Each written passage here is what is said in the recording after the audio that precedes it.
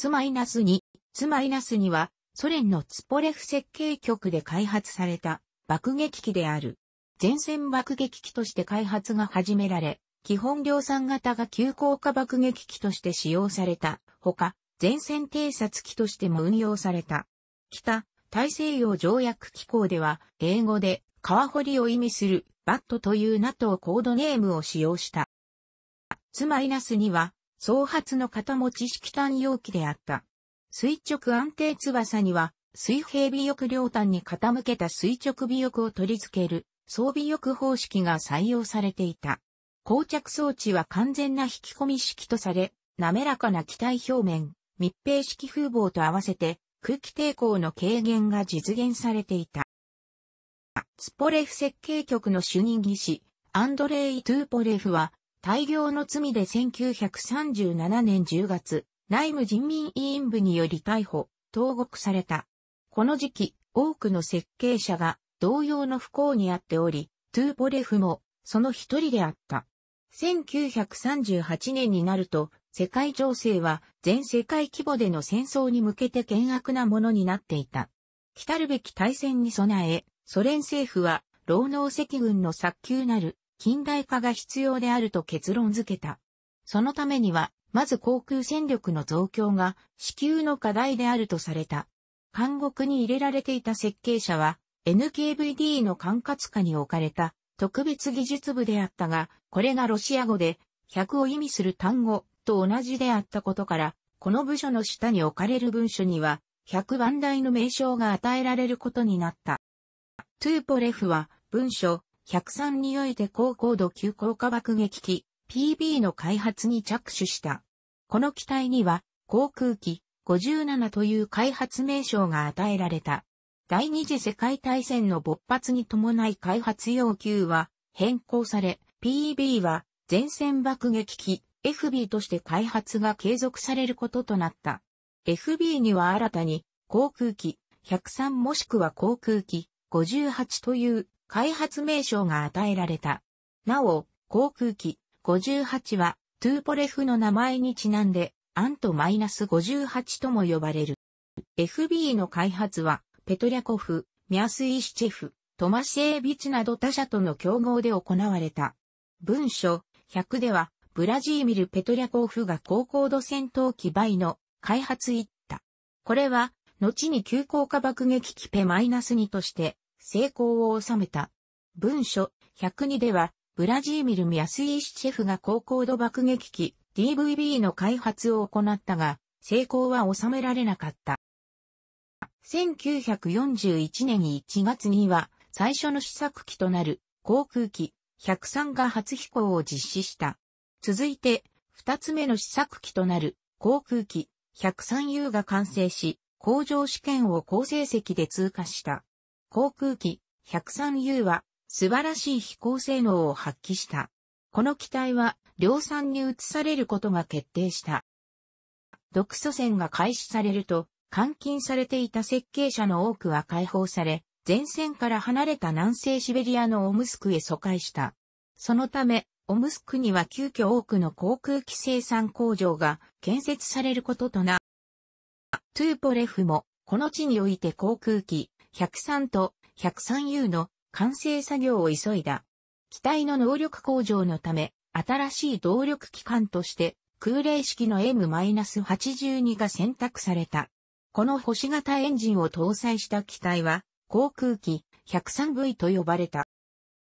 1941年秋になると、それまで AA アルハーアンゲリスキー記念試作設計局からアレクサンドル・アルハーアンゲリスキーがトゥーポレフの元に戻った。アルハーアンゲリスキーは、かつてトゥーポレフの元で SBE の開発を行い大きな成功を収め、独立後には自身の設計局で急降下爆撃機 AR-2 を開発した実績があった。彼の参加は今回の新型爆撃機の方向性に大きな影響を及ぼすこととなった。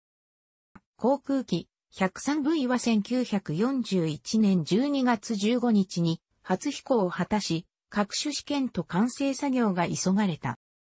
航空機 103V が試験を行うと同時に工場では量産型の生産が開始された。量産機の正式名称は、ツ -2 とされた。量産初号機は1942年2月に完成し、年末までに80機のツ -2 が工場を出た。しかし、これをもってツ -2 の生産は中止され、工場はヤコブレフ設計局の戦闘機の増産のために提供された。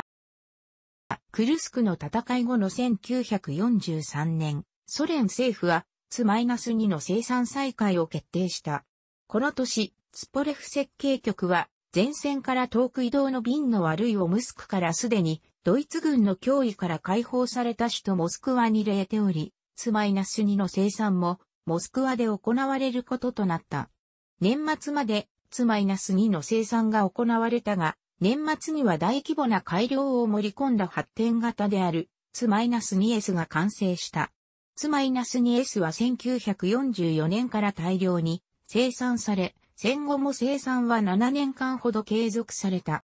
1942年から1945年末までの間に1216機のツ -2 とその派生型が生産され、最終的な生産数は2527機となった。派生型の中では、前線爆撃機型と偵察機型が実用化された。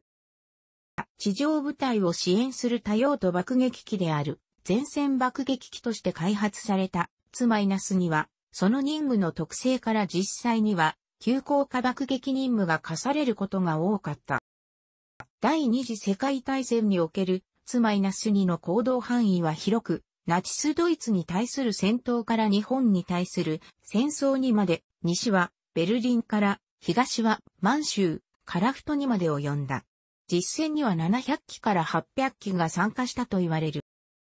前線のパイロットらは、それまでの SB やペ -2 と比べ、ツマイナス -2 の高性能ぶりに驚きを示したと言われる。ツマイナス -2 の爆弾搭載量は大きく、防御火器は強力で上院防御装甲も扱った。また、操縦特性は良好で、機体構造の信頼性も高かった。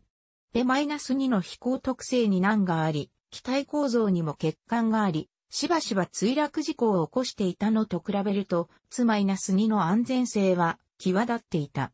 防御力の高さは、ツ -2 をしてソ連爆撃機の中で、初めて護衛戦闘機なしでの作戦飛行を可能ならしめた。1942年9月には、カリーニン戦線にて最初の損失が出たが、これは実際には作戦中の損失ではなく、飛行軍事試験の最中の損失であった。多くのツマイナス -2 が他のソ連爆撃機同様、初期には空中偵察任務にも使用された。ツ -2 は目の瞳と呼ばれ、この任務においても高い実績を残した。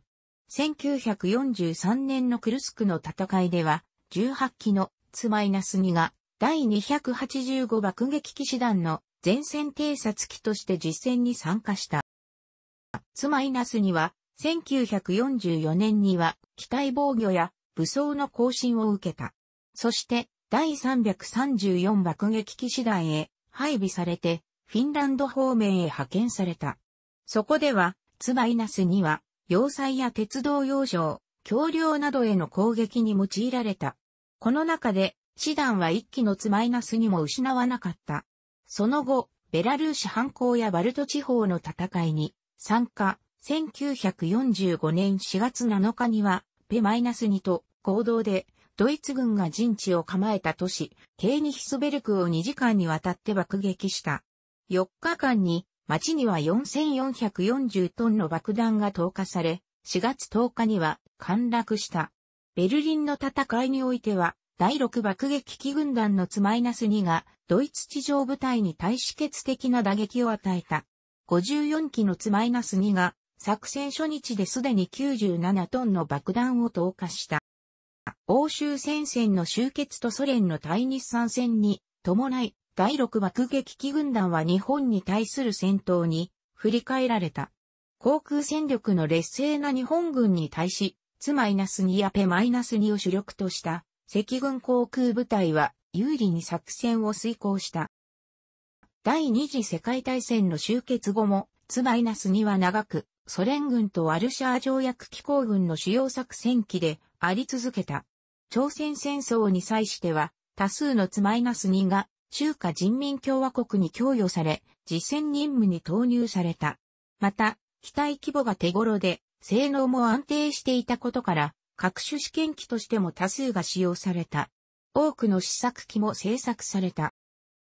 ツマイナス2の後継機としては、ジェット機のイールマイナス -28 やツマイナス16などが開発された。1944年には、ツマイナス2の生産に関しツポレフ設計局や生産工場の多くの従業員が高いソ連国家賞を授与された。アンドレイ・トゥーポレフは戦時中におけるツマイナス2の成功により1943年にスターリン賞を授与された。また、1944年には祖国戦争勲章とスボーロフ勲章を受け、航空技術任務賞賞となった。1945年には社会主義活動英雄の称号を得た。しかし、彼が本当の自由を手にしたのはスターリンの死後であり、この事実は粛清体制の恐ろしさを物語っている。楽しくご覧になりましたら、購読と良いです。クリックしてください。